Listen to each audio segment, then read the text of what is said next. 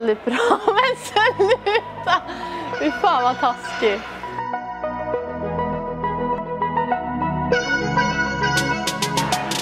Vad jag pratar om? Så idag åt jag gröt med lingonsylt och kanel. Intressant. Det som gjorde att jag kom tillbaka var väl att jag fick ett väldigt bra kontraktsförslag. Får träna nästan så mycket jag vill. Jag tycker att eh, Luleå presenterar ett bra och intressant lag som, eh, som kan vara med och slåss där uppe. Det som har gjort att jag har kommit så här långt, min drivkraft att alltid vilja bli bättre. När jag inte spelar hockey jobbar jag som PT på Actic. Busigaste laget är Sofia Yokai. Game of Thrones. Bruce Springsteen, 10th Avenue Freeze Out.